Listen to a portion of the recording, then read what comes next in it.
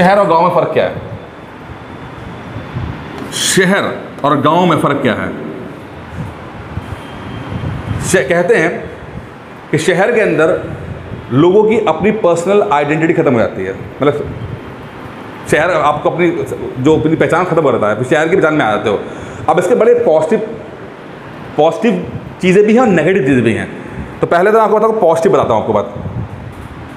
तो सबसे बड़ा पॉजिटिव जो डॉक्टर अंबेडकर बोलते थे डॉक्टर अंबेडकर ने बात बोली है।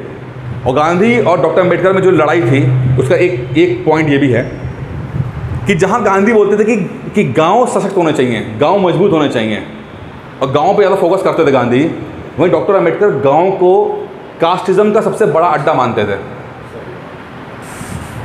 ये ये मैं इसलिए बताता हूँ आपको कि आप, देखिए, चार, पाँच छः महापुरुषों के बारे में पढ़ना बहुत ज़रूरी है।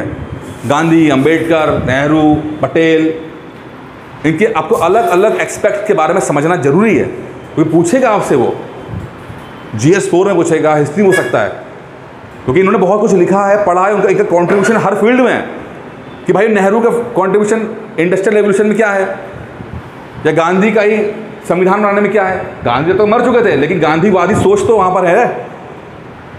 गांधी डीपीएसपी में क्या है? गांधी, गांधीवादी सोच नहीं है क्या? डॉक्टर अंबेडकर के समाज में क्या है? उनका उनका इकोनॉमिक्स में क्या है? तो आपको कुछ चीज़ें पता होनी चाहिए। कम से कम बेसिक तो पता ही होना चाहिए, ठीक है? तो जब गांधी जी और अंबेडकर की मेन मुद्दा ये रहा, और खासकर ये सवाल बहुत बनता है यूपीएससी में बहुत बनता है, गांधी और अंबेडकर को लेकर बड़ा चलता है कि दोनों की आई क्योंकि यही बड़े क्लैश किया था दोनों में। तो नेहरू तो बिल्कुल ही सपोर्टर में थे गांधी जी के तो यही सपोर्टर थे। जिन्ना जो थे, दूसरे जो उधर के हीरो थे, उनका, उनकी आइडियोलॉजी वॉर नहीं थी। उनका एक ही एक ही फंडा था बस। हिंदू, मुसलमान साथ ही नहीं सकते, बस। लेकिन वैचारिक रूप से जो लड़ाई जिसे लड़ी है वो अंबेडकर ने लड़ी है।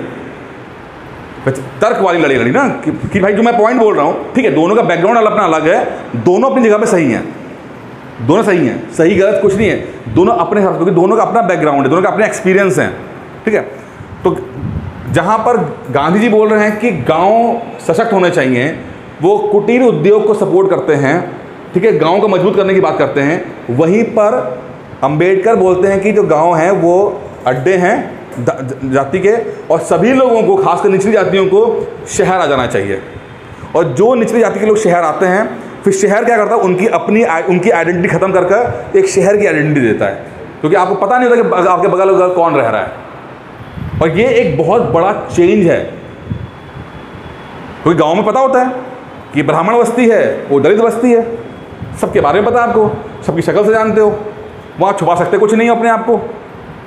ना छुपा सकते हो, ना छुपने दिया जाएगा, ना बढ़ने दिया जाएगा। है ना? क्योंकि एक एक फिक्स मानसिकता है ना, वहाँ पे फिक्स है।